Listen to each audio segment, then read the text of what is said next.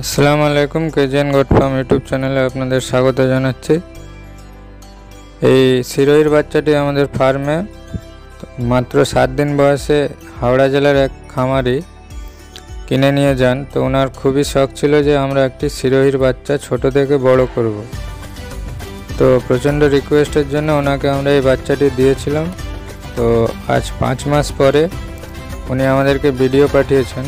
ওনাদের বাড়িতে একটি গরু ছিল, সেই গরুর দুধ উনি প্রত্যেক দিন বাচ্চাটিকে খাওয়াতেন এবং খুব ভালোভাবে যত্ন করে বড় করেছেন।